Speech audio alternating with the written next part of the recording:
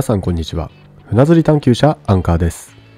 今回の動画ではタイラバヘッドのみの仕掛けで調光タイラバと釣果を比較してみるを検証していきます。最初にタイラバヘッドのみの仕掛けの制作過程を簡単に説明したいと思います。まず最初にアシストラインを適度な長さに切ります。切ったアシストラインを2つ折りにしその両端に針を結んでいきます。結んだらアシストラインの折り目の部分を平ラバヘッドに差し込みます。差し込んだら平ラバヘッドから出る針の長さを決めます。決めた長さにコブを作りストッパーを作ります。最後にクッションゴムを通して確実に平ラバが止まるようにします。これで仕掛けは完成となります。果たしてこの仕掛けで魚を釣ることができるのでしょうか？そして平ら場と比較して超過はどれぐらい上がるのでしょうか？今回 M さんという方の船に乗せていただいて超高となるのですが待ち合わせ場所の船の前に行くと50センチ前後のチヌがうようよと群れているのを目にします。静かに近づいてみますが逃げる様子はありません。かなり近くまでカメラを近づけてみますがそれでも動じる様子はありません。漁港で大きなチヌを見かけることは珍しくはありませんがこれほどの数の群れが人を恐れずにいることは珍しい光景だと思いました。カメラの写りが悪そうだったので変更グラスを通して見てみます。ほとんどのチヌが50センチ前後の大きなサイズです。いつかはこれらのチヌを釣る動画も上げてみたいと考えています。本日の海の状況はこのようになっています。天気はあいにくの曇りでした。今回は釣れると噂を聞いたことのあるポイントまで少し遠出してみようと思います。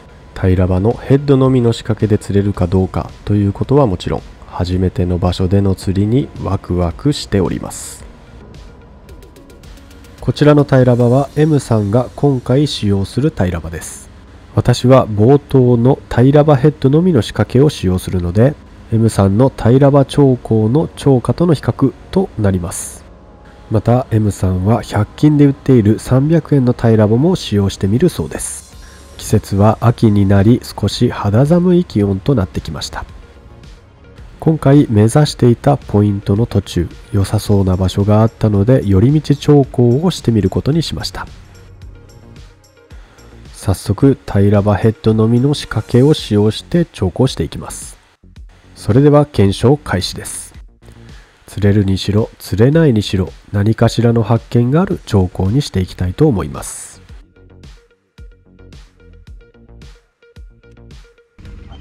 当たりました。釣り始めて5分。早速 M さんの竿に当たりがあります。ポイントの選択は悪くはなかったようです当たりました？魚の活性はなかなか良さそうな気がしました。ちなみに M さんはこちらの平場を使用して調光しています。私の仕掛けには反応がありません。しばらく魚の反応がなかったため一旦仕掛けを上げてみます。そもそも釣れないポイントだったらどうしようと思ったのでここでオモックに変えてみます。これで釣れなければポイント自体を変えてみようと思います。信頼しているこの仕掛けではどうでしょうか？仕掛けを変えて10分ほど当たりがありません。やはりポイント自体を変えるべきかと思っていた時でした。竿を叩くのですが少し走る引きを感じます。あやばい外れる外れる。おいあと15メートル。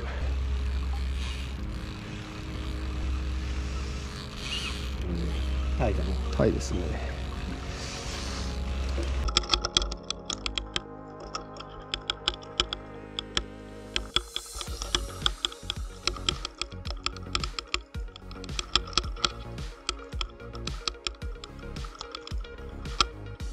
40センチ前後のタイが釣れました4本中3本の針でフッキングされていました。これでは逃げようがありません。食べ頃のいいサイズのタイでした。それにしても我ながら本当によく釣れる仕掛けだと思います。そうこうしていると M さんの平ら場にもヒットします。25センチ前後のアコウが上がってきました。平ら場も調子が良さそうです。ここで仕掛けの形状を変えてみます。海面で動きを確認してみますがふらふらと揺れていてあまり理想に近い動きではありませんでした。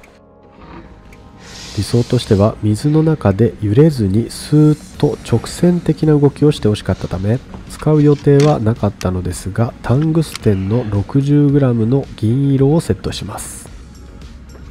確認してみるとブレずに動いてくれたので急遽こちらを使用することにしました。果たしてこの選択が吉と出るか凶と出るかしばらくこれでやってみることにしました。あ釣れた。あ離した。検証結果に関わってくるので非常に悔しいですこれタングステンのヘッドだけです。おおマジ？はい。M さんも釣れると思ってなかったようです。あーマジか。逃したなチャンスを。このまま釣れなかったらどうしようと思っていた時でした。あまた釣れた。釣れました。釣れました。あ離した。あー離した。そう簡単に釣れたということにはならないのかもしれませんこれはやっぱり合わせを入れた方が良さそうやな。やばい。着底直後にヒットします。釣れました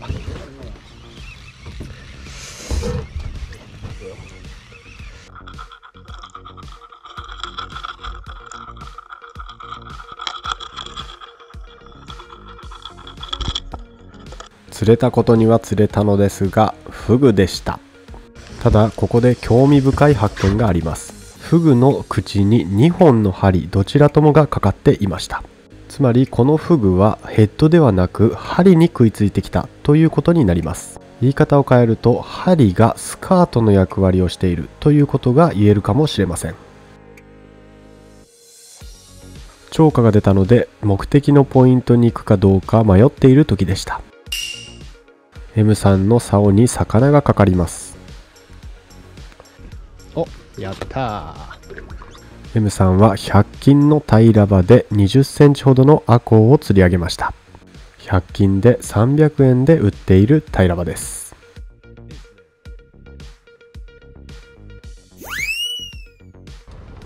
寄り道が少し長くなりましたが当初目的していたポイントに到着します先ほどフッキングがうまくいかなかったので固めの竿を使用してみることにしました。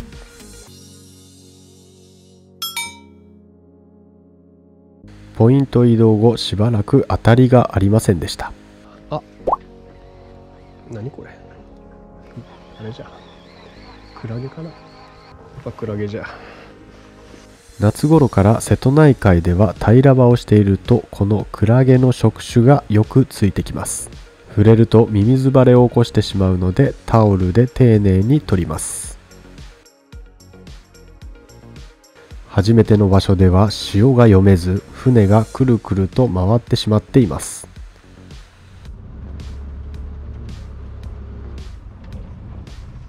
多分ここらね砂取ってますね。ここの海図と水深が全然違うから。あー海砂これ取っとるわ。魚探上では勾配のあるポイントに船を移動させたつもりが海底の形状は真っ平らとなり魚探にある水深より10メートルほど深くなってしまっています。こうなると超過に期待できそうもありません。あ当たりました。このポイントの反応はこれっきりでした結局寄り道をしたポイント付近に戻ってきて兆候を続けます。ポイント移動してすぐのことでした。あ離した。今当たりました。フグ以外の魚もなんとか釣り上げたいものです。あ当たった。当たりました。竿を柔らかいものに戻しましたがなかなかフッキングさせることができませんそのまま釣りを続けていると。おっしゃ。やった。来ました。ようやくフッキングさせることに成功します。この引きは紛れもなくタイです。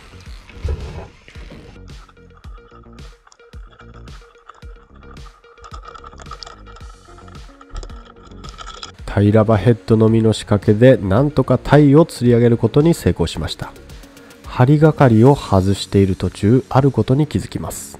フッキングされた場所が口の中ではなく顎に刺さっていました。ここである不安が頭の中をよぎりました。タイに関しては針ではなくヘッドに直接食いついてきてるのではないかということです。何はともあれフグ以外の魚を釣り上げることができたので一安心です。この辺りから2人の釣果に大きな差が出始めます。お来た。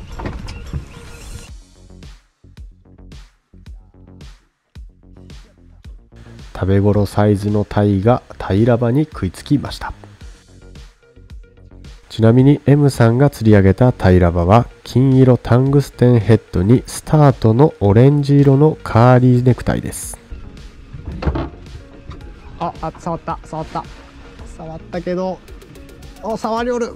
もうちょっと取ってきて頼む。わかるの。ああ。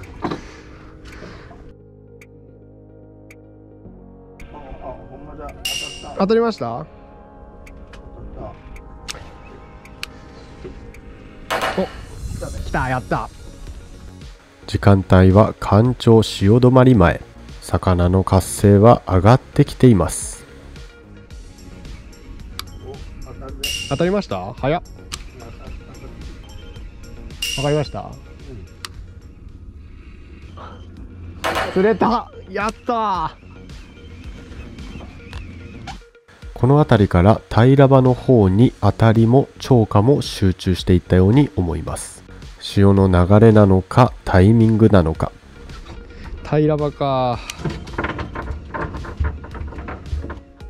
タイラバの方が釣果が出ているので少しがっかりしていますがよくよく考えると私はタイラバヘッドのみの仕掛けなので普通に考えると当たり前のことなのかもしれません。来た。乗った？おああ離した。しかしやるからにはより多くの釣果を上げたいと思いながら釣りをしています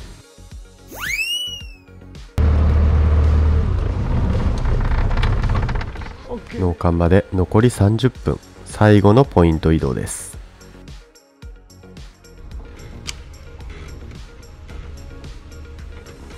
あ当たった。当たりおる当たりおる。乗れ乗れ乗れ。乗らんかった。そのまま落として巻き上げていると。あ当たりおる。くー乗らねえやはり魚は針ではなくヘッドに直接食いついてきているようです。あまた当たりおる同じやつだと思います。流れよらんけ頼む。食い込んでくれ。あなくなった。当たりました。長考の後半は平ら場で長考をした方が良さそうでしたやった。釣れましたね。食べ頃サイズの元気な鯛が上がってきました。長考後半の長果は平ら場が圧倒的に上でした。はいそれでは今回の検証結果はこちらです。M さんは平ら場で鯛4匹アコウ2匹の計6匹を釣り上げることができました。一方私は最初に釣り上げたのは自作重くでの釣果だったため平ら場のヘッドのみの釣果は鯛1匹そしてフグ1匹という形になりました。そしてまとめとしては以上の3点が考えられます。1つ目は平ラバヘッドのみでも釣れるが超過は平ラバほど期待できないということ。2つ目は平ラバヘッドの動きはブレが少ない方が当たりが多い可能性があるということ。3つ目はタイは針ではなくヘッド自体に食いついていることが考えられるということです。個人的に特に気になったのは3つ目です。ヘッドのみでも当たりを取ることができるということはネクタイの役割はタイが捕食する対象の焦点を当てることに注視すべきかもしれません。そのような考えも参考にしながら今後の仕掛け選びをしていきたいと思います。今後もこのような検証動画を上げていきますのでチャンネル登録高評価をぜひお願いします。またコメントをいただければできる範囲で検証していきたいとも考えておりますので今後ともよろしくお願いします。最後に私が使っている自作オモックを3名の視聴者の方にプレゼントしたいと思います。詳しくは概要欄をご覧ください。それではまた。